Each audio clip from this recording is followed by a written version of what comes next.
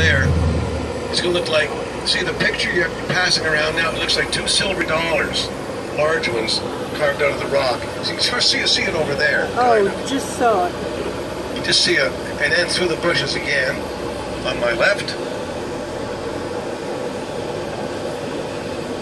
Yeah, there it is over there, you see it? That's what I'm, so it's opposite me right about now.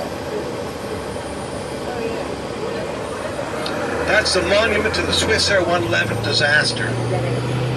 Now, if you didn't get pictures of that, again, Google Swissair disaster Peggy's Cove. All kinds of images of that. As a matter of fact, what's going around now is from the website. So just Google Swissair 111 uh, monument, all kinds of pictures. There are a lot of lighthouses that are suffering the ravages of time. And that costs a lot of money, and some of them are decaying quite badly. So we're trying to.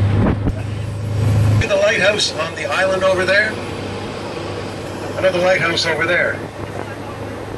No. So again, and again, the one near ships, the, the McNabbs, McNabbs lighthouse. So all kinds of